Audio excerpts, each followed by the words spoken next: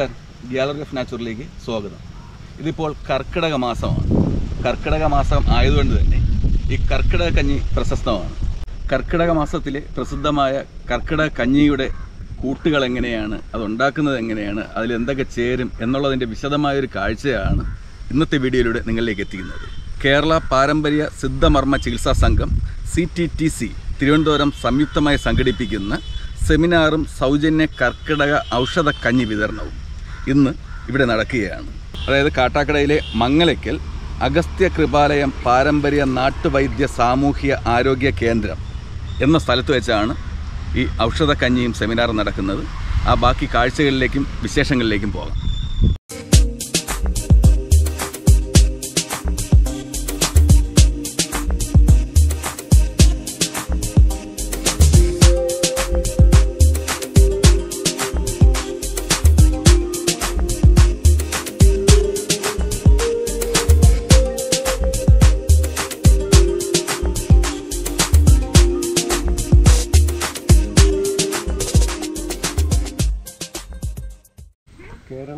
പാരമ്പര്യ സിദ്ധമർമ്മ ചികിത്സാ സംഘം.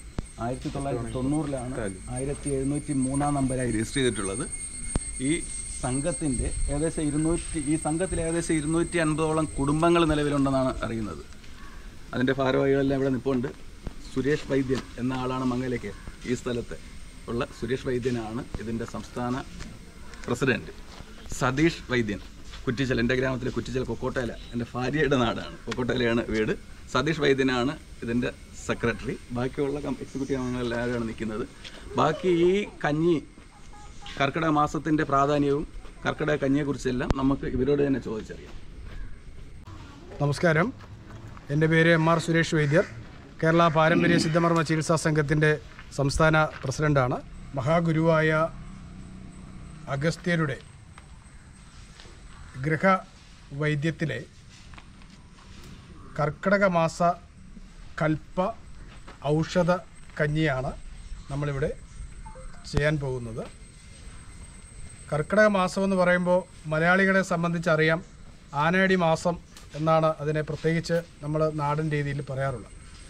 കർക്കിടക മാസത്തിൽ നമ്മുടെ ഭൂപ്രകൃതിയിലുണ്ടാകുന്ന പഞ്ചഭൂതങ്ങളുടെ സന്തുലിനാവസ്ഥയുടെ വ്യതിയാനമനുസരിച്ച് അത് മനുഷ്യ ശരീരത്തെയും സാരമായി ബാധിക്കുന്നതുകൊണ്ട് മനുഷ്യ ശരീരത്തിലെ പഞ്ചഭൂതങ്ങളെയും ത്രിദോഷങ്ങളെയും അതുപോലെ തന്നെ ദശവായുക്കളെയും അത് സാരമായി ബാധിക്കുകയും അതിന് അനുസരിച്ച് ശരീരത്തിൽ ഉണ്ടാകുന്ന രോഗങ്ങളുടെയും അതുപോലുള്ള മറ്റു ശാരീരിക അസ്വസ്ഥ അസ്വസ്ഥതകളും വർദ്ധിക്കുന്നതായി നമുക്ക് കാണാൻ കഴിയും. ഇവിടെ കഫം കൊണ്ടുണ്ടാകുന്ന രോഗങ്ങളെ ശമിപ്പിക്കുകയും അതുപോലെ വാദം കൊണ്ടുണ്ടാകുന്ന സന്ധി വേദനകളെയും ശരീരവേദനകളെയും അകറ്റുകയും അതുപോലെ തന്നെ പിത്തം വർദ്ധിച്ചുണ്ടാകുന്ന ശരീര ക്ഷീണത്തെ മാറ്റുന്നതിനും ഈ കർക്കിടക കഞ്ഞി വളരെയധികം ഗുണം ചെയ്യുകയാണ്. ഇത് നമ്മുടെ ശരീരത്തെ ധാതുബലത്തെ വർദ്ധിപ്പിക്കുകയും ഓജസ് വർദ്ധിപ്പിക്കുകയും അതിനോടൊപ്പം ശരീര ക്ഷീണം മാറ്റുകയും നമ്മൾ ഒരു വർഷത്തിൽ കഴിയുന്നതും ഏഴ് ദിവസം ലഘുപഥ്യത്തോടുകൂടി ഈ ഔഷധക്കഞ്ഞി ഉപയോഗിക്കുകയാണെങ്കിൽ ആ വർഷത്തിൽ നമ്മുടെ ശരീരത്തെ ഒന്ന് പുതുതായി നമുക്ക് ശരീരത്തെ ക്രമീകരിച്ച് നമ്മുടെ ത്രിദോഷങ്ങളുടെയും പഞ്ചഭൂതങ്ങളുടെയും അതുപോലെ തന്നെ പഞ്ചേന്ദ്രിയങ്ങളുടെ എല്ലാം സന്തുലനാവസ്ഥ ക്രമീകരിച്ചുകൊണ്ട് ശരീരത്തിന് ഒരു കായബലം വർദ്ധിപ്പിക്കുവാൻ കഴിയും. ഇത് ഭാരതത്തിലെ ഋഷിവര്യന്മാർ അവരുടെ കാലഘട്ടം മുതൽ ചെയ്ത് അവർ ഇത് ഉപയോഗിച്ചിരുന്ന ഒരു ഔഷധക്കഞ്ഞി കൂട്ടാണ്. ഇത് അഗസ്ത്യരുടെ ഗൃഹവൈദ്യത്തിൽ നിന്നാണ് നമ്മൾ ഈ ഔഷധക്കഞ്ഞിയുടെ കൂട്ട് എടുത്തിട്ടുള്ളത്.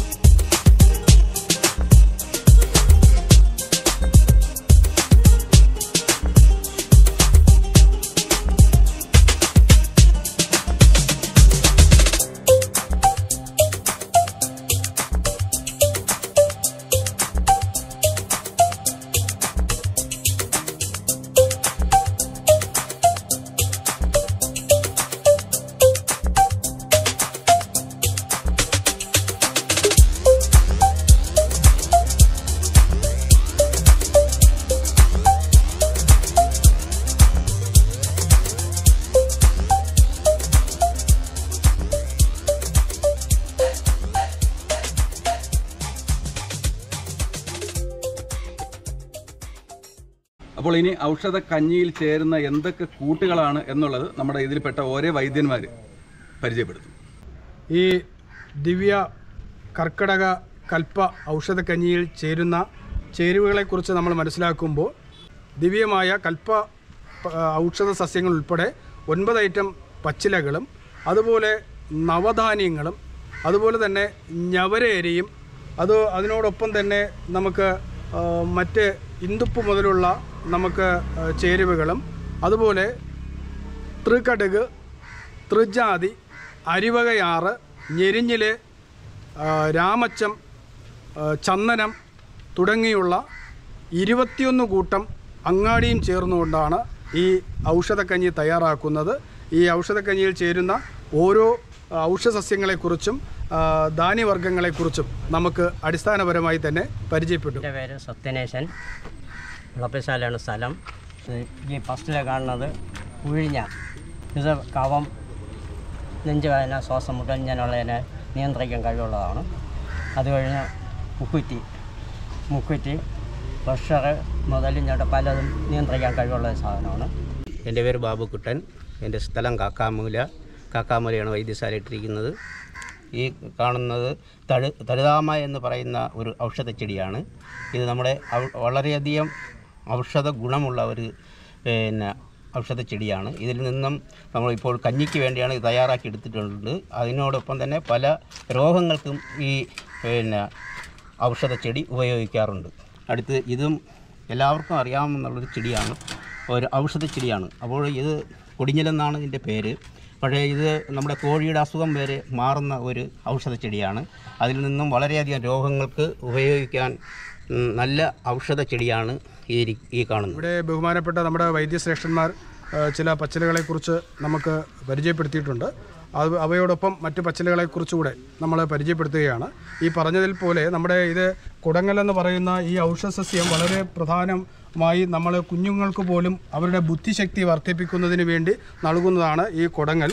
ഈ കുടങ്ങലിന്റെ പ്രാധാന്യം നമുക്ക് എല്ലാവർക്കും അറിയാവുന്നതാണ് ഇത് നമുക്ക് പച്ചയ്ക്ക് അരച്ച് ഇതിന്റെ നീരെടുത്ത് പോലും നമ്മൾ കുഞ്ഞുങ്ങളുടെ ബുദ്ധിശക്തി വർദ്ധിപ്പിക്കുന്നതിന് വേണ്ടി തേനിൽ ചാലിച്ചു കൊടുക്കുന്ന വളരെയധികം കൽപ്പ ഔഷധത്തിൽ പെടുന്നതാണ് ഈ കുടങ്ങൾ. അതുപോലെ തന്നെ തഴുതാമ നമ്മുടെ രക്ത സഞ്ചാരത്തെ കൂടുതൽ വർദ്ധിപ്പിക്കുന്നതിന് വേണ്ടി ശരീരത്തിലെ വി പി പോലുള്ള പ്രശ്നങ്ങളെ ക്രമീകരിക്കുന്നതിന് വേണ്ടി വളരെയധികം കൂടുതലായി ഉപയോഗിക്കുന്നതാണ് നമുക്ക് ഈ തഴുതാമ. അതുപോലെ തന്നെ നമുക്ക് യശങ്ക്. യശങ്ക് എന്ന് പറയുന്നത് നമ്മുടെ ശരീരത്തിലെ ഏറ്റവും ത്രിദോഷങ്ങളിലെ കപം എന്ന് പറയുന്ന ആ കപക്കൂറിനെ നമുക്ക് ശരീരത്തിൽ ക്രമീകരിക്കുന്നതിനും അത് സംബന്ധിച്ചുള്ള ചുമ പോലെയുള്ള അസുഖങ്ങൾ ശ്വാസം മുട്ടൽ തുടങ്ങിയുള്ള കപസംബന്ധപരമായ പ്രശ്നങ്ങളെ ക്രമീകരിക്കുന്നതിന് അത് കാലറ്റ് മാറ്റുന്നതിന് വേണ്ടി ഉപയോഗിക്കുന്ന ഏറ്റവും വലിയ ഒരു ഔഷധമാണ് യശങ്ക്. അതുപോലെ തന്നെ ചെറുള.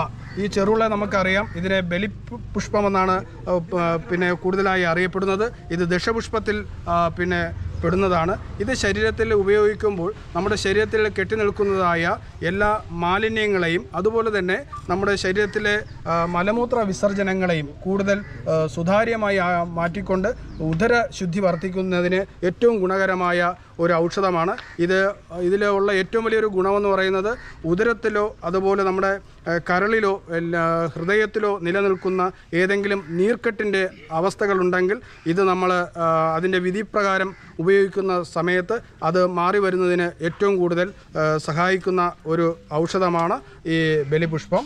ഇത് നമുക്ക് അറിയാം. ഇതിനെ കിളിമരം എന്നാണ് പറയപ്പെടുന്നത്.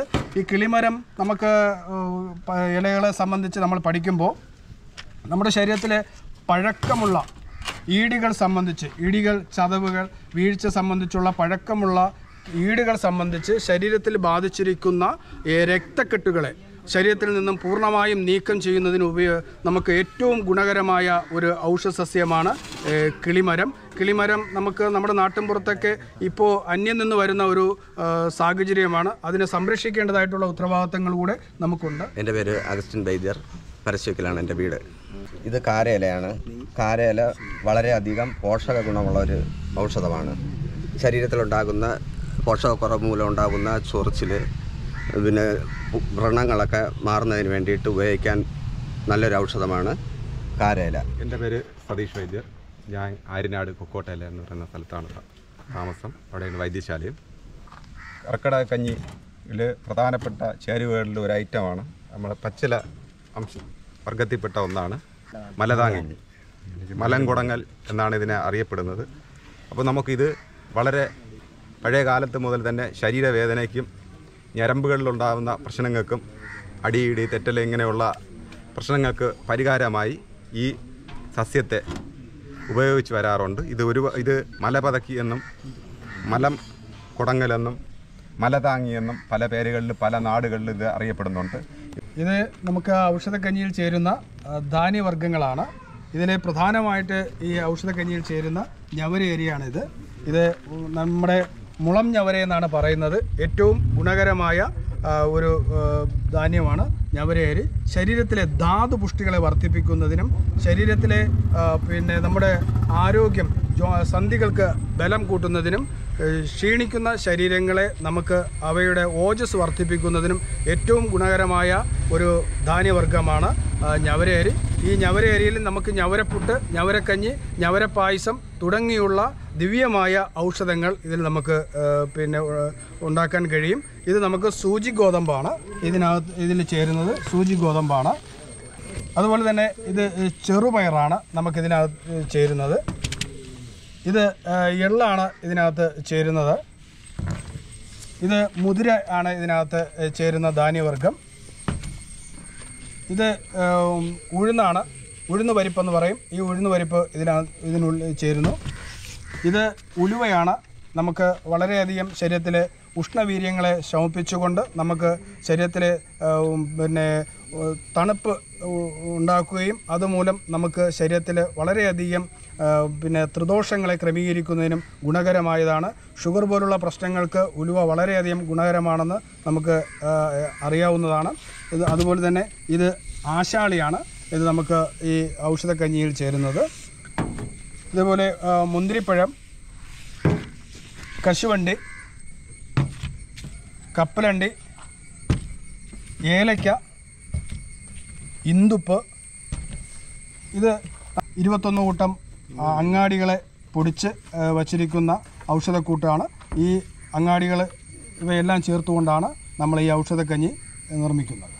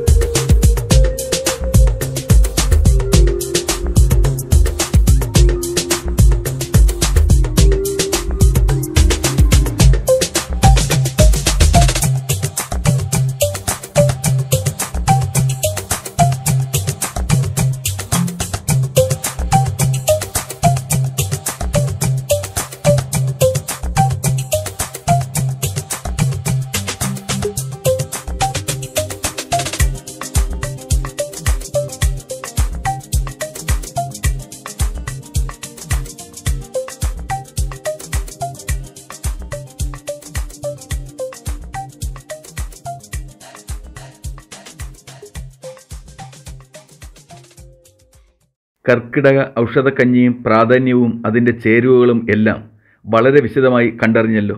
പാരമ്പര്യ സിദ്ധമർമ്മ വൈദ്യത്തെപ്പറ്റി ഇനിയും ഒരുപാട് കാര്യങ്ങൾ നിങ്ങളിലേക്ക് എത്തിക്കാനുണ്ട്.